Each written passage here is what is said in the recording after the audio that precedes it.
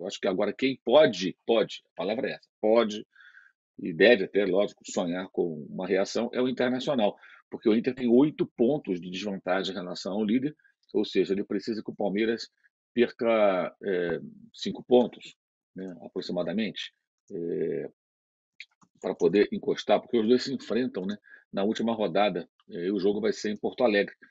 Hoje, o, o, Internacional ele tem três horas a menos que o Palmeiras. Então, ele precisa ganhar três jogos, vamos, né? É, e o Palmeiras, digamos, empatar é, esses três jogos para que ele possa é, reduzir essa desvantagem de, de 8 para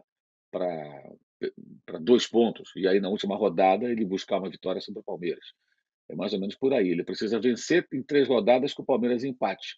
Porque, se por acaso a diferença é, é, é se pautar aí por uma, digamos, é, o Palmeiras empata um jogo e perde outro, perde cinco pontos.